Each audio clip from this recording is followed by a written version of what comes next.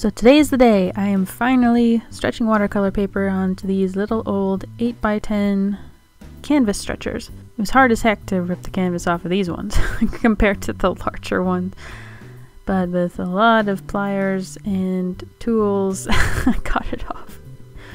I rinsed my watercolor paper under the tap for a long time to get it to absorb as much water as it can.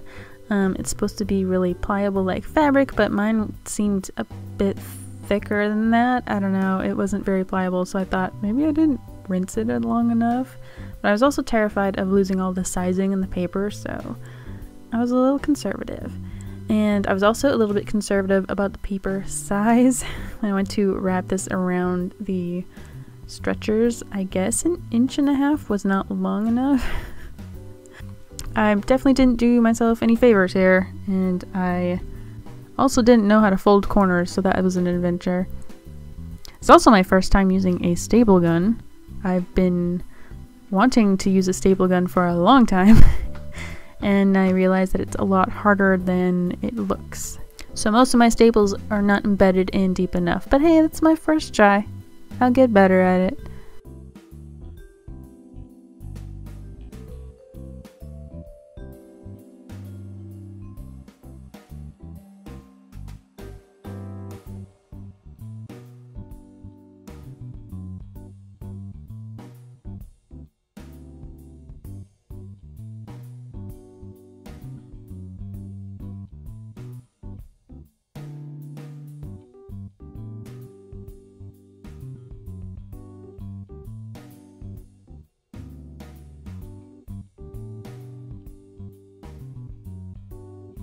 So I set it aside to dry and came back to it later. And it makes a wonderful drumming noise.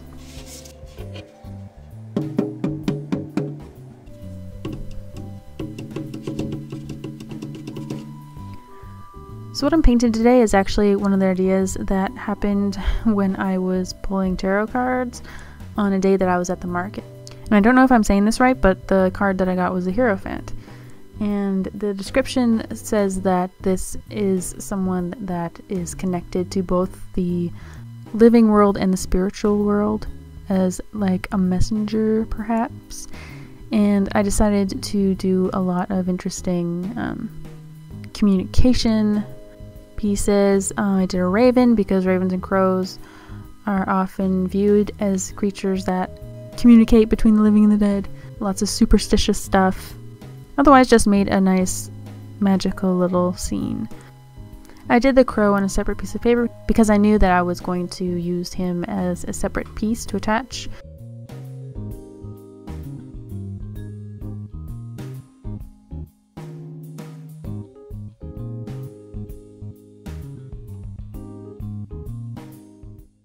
And when I went to paint on the stretched paper, it was perfect. It was perfectly flat, even though I worried that it wasn't going to be. And it didn't really warp that much because it had already been expanded as far as it could go. I didn't appear to lose any sizing at all. Everything functioned exactly normally, and I didn't have to wrestle with any tape. I didn't have to, like, worry about pockets of color uh, bleeding and puddling into each other. Like, it was great. it was a great experience. It was just like painting on the canvas surfaces or the wooden surfaces, get the nice sturdy base, but this time I actually have proper paper. So I 100% recommend trying this. And you'll see me finishing this painting.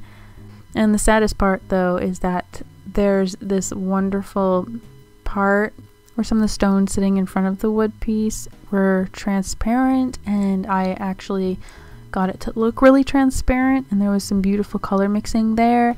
And then later on I realized that that is where the bird is gonna go so I did all this beautiful work and then I covered it up which sucks.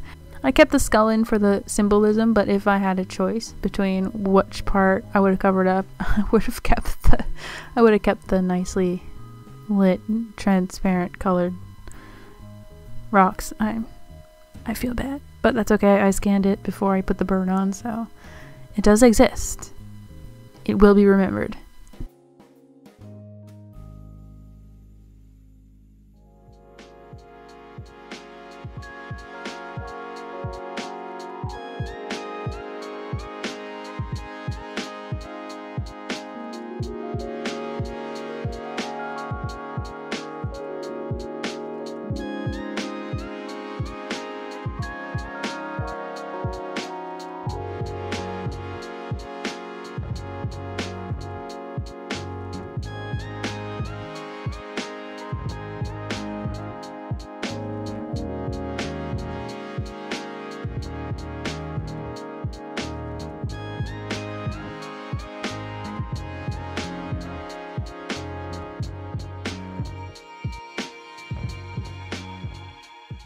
So if you're new here and you haven't seen me done these panels before, you're probably thinking, well, what the heck are you going to do with this? Um, it's watercolor and paper. You know, how are you going to protect it without ruining the look of it? Yes, sometimes when you cover it with resin or you cover it with a pouring medium or some other acrylic shiny base, it does enrich the colors a little bit and looks very interesting. But sometimes I just want it to look like watercolor painting and not a mixed media painting, you know what I mean? I don't necessarily want it to, to be shiny all the time, and so I usually end up finishing these with cold wax medium. You'll find this in like the oil painting section. It does say on the bottle that you can use it as a type of matte varnish. You just wax it like a car, you rub it on, and then you rub it off later after it's dry and buff it up to whatever level of shine you want.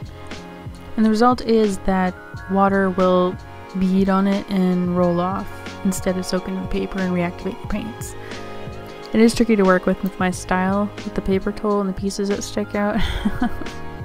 anyway, this is great, and I'm definitely going to try stretching watercolor paper like this again. I have at least eight other frames to cover, so I'll get to practice my stapling. This piece will be available in the shop and uh, probably on Redbubble for now. And I will see you next time.